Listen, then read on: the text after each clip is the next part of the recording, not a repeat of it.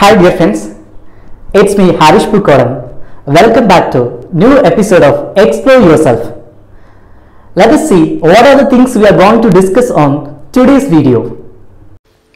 The topic is ratio and proportions, basics and shortcuts. We can expect one or two questions from this area for all competitive examinations.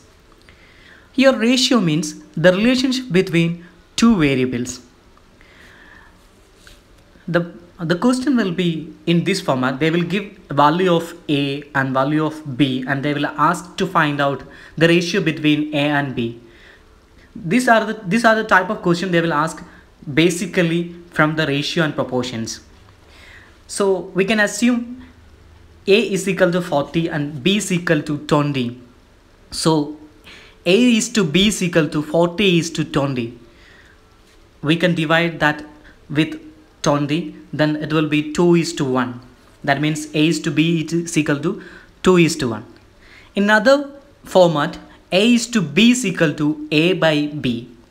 That means 40 by 20 so we if you are dividing that eh, we will get 2 by 1 that means 2 is to 1 this is the basic thing. If we will multiply with same number on both sides of figures it will never make any changes on the ratio. So here you can see we are multiplying with 10 in both sides. That means 2 into 10 is to 1 into 10 answer will be 20 is to 10 if you are dividing that with 10 the proportion or ratio will be 2 is to 1 it seems that there is nothing changing on the value or ratio. That means x1 into a is to x1 into b is the same if you are multiplying with the same number on both sides will never make any changes on the ratio.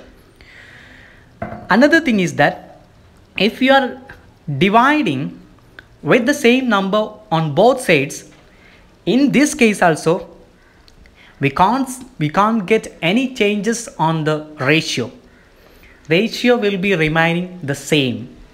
Here we are dividing by 10 that means we are taking 2 is to 1 is the number or figures. We are dividing with 10 that means 2 by 10 is to 1 by 10 if you are removing the 10 and all the things otherwise we are making the division and all we can see that the ratio will be 2 is to 1 is remaining always. That means 2 by x1 is to 1 by x1 these concepts will be helpful for solving the problems so remember these concepts Another type of thing is A is to B is equal to C is to D. In this case, B and C means that is means B and C is means and A and D is extremes. These are the two variables. A is to B is equal to C is to D. In this case, B and C is means and A and D is extremes. Sometimes they will ask ratio between means. In other cases, they will ask ratio between the extremes also. That means A by B is equal to C by D. That, is, that means A into D is equal to B into C. This concept is also very helpful for solving the problems related with ratios. So we can move to the problem number 1 problem is if a is to b is equal to 2 is to 3 and b is to c is equal to 3 is to 4 find out the ratio between a b and c. That means a is to b is to c. So in this question we got some things that is a is to b is equal to 2, 2 is to 3 already given and b is to c is equal to 3 is to 4 that also given we need to find out a is to b is to c this is the very easiest method. I will tell you how to find out the solution for this problem. First of all, we need to write the things given in the problem.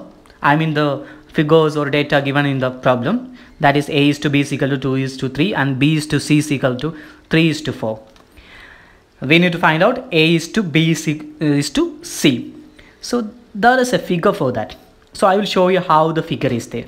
So you can see this arrow mark.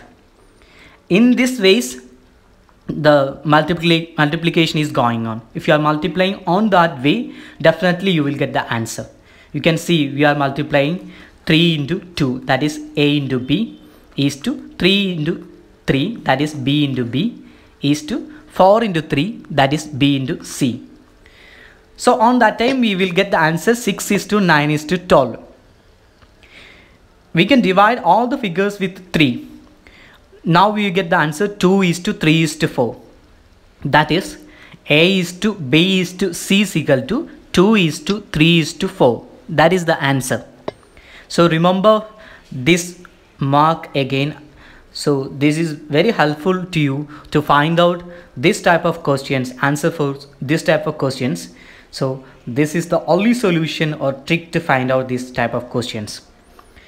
Then the problem number two, if x is to y is equal to 3 is to 4 and y is to z is equal to 8 is to 9, find out x is to z. First we need to write down the things already given in the question. They are given x is to y is equal to 3 is to 4 and they also given y is to z is equal to 8 is to 9 and in this case first of all we need to find out x is to y is to z. We were discussed this matter in previous question i mean the problem number one. The same technique we are using here also.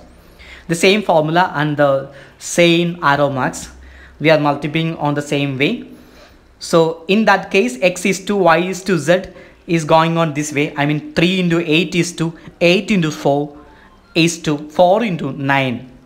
That means 24 is to 32 is to 36. We can divide these all figures with 4. Then we will get 8 is to, sorry, 6 is to 8 is to 9. We will get answer as 6 is to 8 is to 9. In this, we can clearly say that x is 6 y is 8 and z is 9. So they are asking x is to z. x is to z is equal to 6 is to 9. 6 is to 9 we can divide both sides with 3 then the answer will be 2 is to 3. I'm already told you if you are dividing or multiplying with same number on both sides never make any changes on ratio. So that rule we are applying here. Then we will get the answer 2 is to 3 then we are going to problem number 3 problem if a is to b is equal to 2 is to 3 and c b is to c is equal to 4 is to 5 and c is, to d is equal to 6 is to 7 Find out A is to B is to C is to D. We need to do a few more things on this question. Here you can see they are already given A is to B is equal to 2 is to 3 and B is to C is equal to 4 is to 5 and C is to D is equal to 6 is to 7. And they are asking about A is to B is to C is to D. We done two questions in three digits way. The similar technique we can use here also. So first of all we need to write down what are the things we they were given on question. That is a is to b is equal to 2 is to 3 and b is to c is equal to 4 is to 5 and c is to d is equal to 7 is 6 is to 7 so here also one more arrow marks things are there arrow mark trick is there so I will show you the trick how they are doing. They are asking about A is to B is to C is to D. So this is the trick we are need to do. I'll show you the trick how the things is going on. You can see here, this is the arrow mark. In this way the things are going on. So now we will get A is to B is, B is to C is to D is equal to ABC is to BBC is to BCC is to BCD. That is the formula. Otherwise, you can you can by heart this formula. That is A is to B is to C is to D is equal to ABC is to BBC is to BCC is to BCD. That is the formula. That means here 2 into 4 into 6 is to 3 into 4 into 6 is to 3 into 5 into 6 is to 3 into 5 into 7. If you are multiplying these all figures, we will get answer like this. 48 is to 72 is to 90 is to 105 we can divide all the figures with 3 then the answer is on this way that is 16 is to 24 is to 30 is to 35 so the question we need to find out a is to b is to c is to d. The answer is 16 is to 24 is to 30 is to 35 is the answer. So this is if you are seeing this type of questions sometimes you will confusing how how I can solve this question. Is very difficult one. This is not a difficult one. This is the easiest one. If you are getting this type of tricks we can we can find out the solution very easily. Within few seconds we can find out the solution and we will get the full mark also. So the answer is 16 is to 24 is to 30 is to 35 so now we can uh, look for with the problem number 4 it is an, another type of problem. Is not like the previous problem.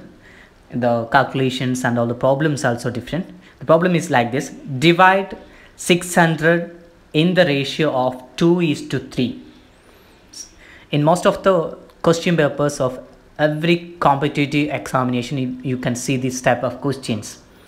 Divide 600 in ratio of 2 is to 3 so we are taking 2x plus 3x that means 2 is to 3 that means 2x is to 3x here already in question they are told that we need to divide the figure 600 in the ratio of 2 is to 3 so we can write that thing things on figures if you are writing on figures, we can see that it will be in this format. 2x plus 3x is equal to 600.